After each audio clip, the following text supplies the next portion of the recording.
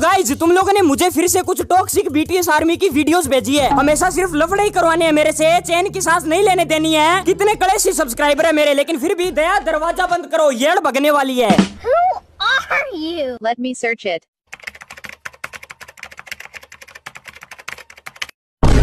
ये तो ओह बेल बुद्धि। फ़र्स्ट ऑफ़ ऑल अगर मैं उनको पसंद नहीं करता तो इसका मतलब ये नहीं है कि मैं उनसे नफरत करता हूँ। हर बंदे की अपनी चॉइसेस होती है लेकिन फिर भी दूसरों की शक्ल को टट्टी बोल रहा है। ये ये ये। पदोड़े नगर का केप ऑफ़ आइडल पिचके हुए मोमो जैसी थूत है तेरी। फ़िल्टर लगाने के बाद भी फटीचर लगता है। तू दूसरों की शक्ल को टट्टी कैसे बोल सकता है?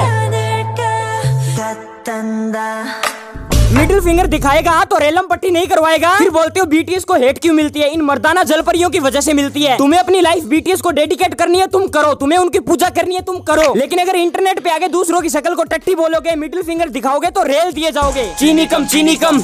मुझे तो मीठा पसंद नहीं हाँ?